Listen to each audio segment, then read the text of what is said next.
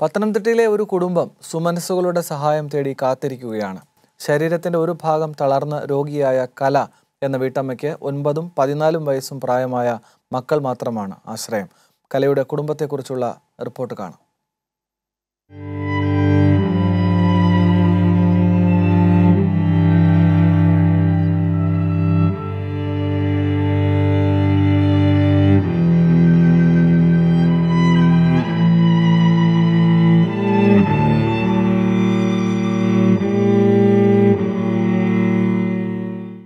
വിധി കരുതി വെച്ച ക്രൂരതകൾക്ക് നടുവിൽ എന്ത് ചെയ്യണമെന്നറിയാതെ വിലപിക്കുകയാണ് ഈ വീട്ടമ്മ.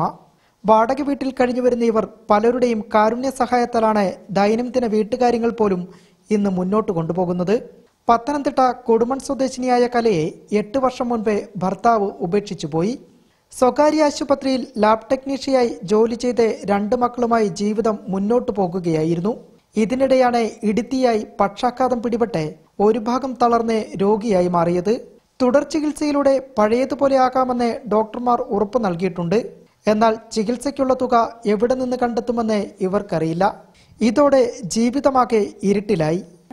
ബെറ്റർ ട്രീറ്റ്മെന്റ് എന്ന് പറഞ്ഞാൽ സാർ പറഞ്ഞു ഡോക്ടർ പറഞ്ഞിരുന്നു. പിന്നെ പോയി ഫിസിയോതെറാപ്പി ചെയ്താൽ മതി. തെറാപ്പി ചെയ്ത് കഴിയുമ്പോൾ ഇതിന് മാറ്റം ഉണ്ടാവും. അങ്ങനെ പറഞ്ഞു വിട്ട് പെട്ടെന്നുണ്ടായ ഒരു ഇതിൽ നിന്നുണ്ടായതാന്ന് പറഞ്ഞു. വാടക വീട്ടിൽ നിന്ന് ഏത് നിമിഷവും ഇറങ്ങേണ്ടി വന്നാൽ എങ്ങോട്ട് പോകുമെന്നതും ഇവരെ അലട്ടുന്നു. ചികിത്സയ്ക്കാവശ്യമായ സഹായം ലഭ്യമാക്കാൻ സുമനസ്സുകളുടെ സഹായം തേടുകയാണ് ഇന്നിവർ. എണ്ണീറ്റ് നടക്കണം. എനിക്ക് എന്റെ കുഞ്ഞുങ്ങൾക്ക് വേണ്ടി ജോലി ചെയ്ത് ജീവിക്കണമെന്ന് ആഗ്രഹമുണ്ട്. ചികിത്സ വേണം. പിന്നെ ഞങ്ങൾക്കൊരു വീടില്ല. വീടിന് വേണ്ടിയിട്ട് എല്ലാവരും സഹായിക്കണമെന്ന്. ഇപ്പം ഞങ്ങൾ വാടക വീട്ടിലാണ് താമസിക്കുന്നത്. പത്തനംതിട്ട അടൂർ ധനലക്ഷ്മി ബാങ്കിൽ കലയുടെ പേരിൽ അക്കൗണ്ട് തുടങ്ങിയിട്ടുണ്ട്.